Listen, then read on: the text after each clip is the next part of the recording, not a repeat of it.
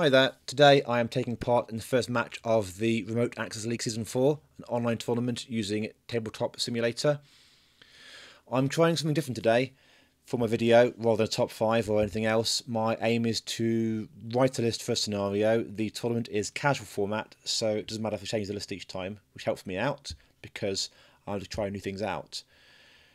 My aim is to go through my list, explain why I've chosen it for a certain scenario and it'd be lovely if you could feed back and sort of explain to me how you think it worked, whether you think it was terrible idea or not. And then I'll play the game, hopefully do a battle report on that. Then afterwards, sort of dissect my game in horrible detail about how, how I got smashed or not. Um, so the purpose is to try and show you the workings out and the kind of thought behind the list, and then kind of the process throughout, and maybe learn from it and have a good time while doing it. So please let me know how you thought it went, whether you think this format works or not and I will save you from looking at my face any longer, and I'll put on the clips of the um, army being built and of the battlefield. So I'll see you later. Bye.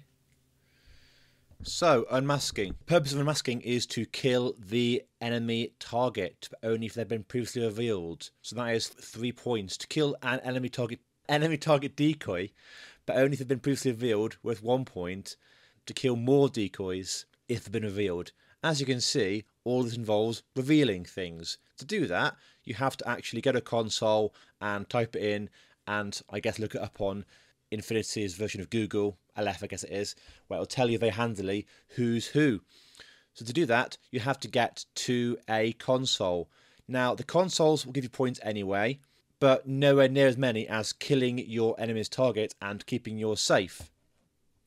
So it's pretty important to get to a console sharpish, push the buttons, look up in the yellow pages who's the HVT target, and take them out. So that will require a fairly quick jump to a console and then the ability to reach out and touch their HVT who's hiding away. Okay, and here we go. On my team, I have a Shinobu. Her purpose, of course, is to hide away. I know that Combined Army has lots of horrible targets I've seen, but not played against things like the avatar and other horrible tags. Her purpose is to hide away. I tend to reveal her far too early often and get her killed. I'm trying to be clever this time. Chance to be a fine thing, but you never know. Hide her away and try and target something really crunchy or wait till the end of the game and really help deal with anyone who's still lying around. And Aragoto's purpose on the motorcycle and a shotgun is to try and wait till turn two or turn three, try and outflank them. If I have found out the target, try and pick them off. Even on a suicide run with a shotgun, it could still help me kill the target. I've got a Yama in a Haris link. He seems really good. He has, of course, tactical awareness to help give his team a bonus order, as well as EM grenades, which is superb.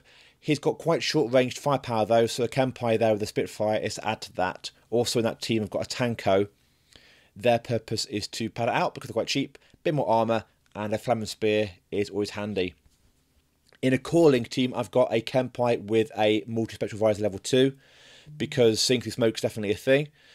A Keisotsu with a hacking device to help push buttons and, well, hack things, unsurprisingly. A Keisotsu with a heavy machine gun. They're quite cheap and, to be honest here, not great at shooting things, but they can be handy at a pinch for long range and also they're quite cheap. A Keisotsu Lieutenant hidden away I haven't got a chain of command in this list, so I've got to be careful with this one. I got Zatsu for Observer, again for button pushing. In Group 2, I've got Yojimbo, because he is amazing. He is fast, he has smoke grenades, he has crazy koalas to control the field. He's mobile. I just think is a great all-rounder. Yuriko Oda with a Yaozao to help push buttons at a distance, and of course her engineer skills can help her unhack any of my heavy infantry. Aryakin with a rocket launcher who's going to be on ARO duty and and put a mine down turn one to make sure that my opponent doesn't feel like they're unthreatened. And finally, a ninja with a kill hacking device hidden away there.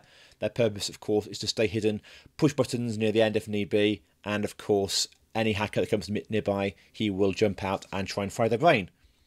There we are, 300 points.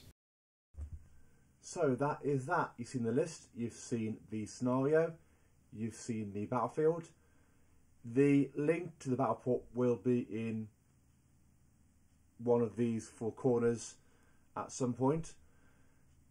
And let's see how we do. I'll see you later. Bye.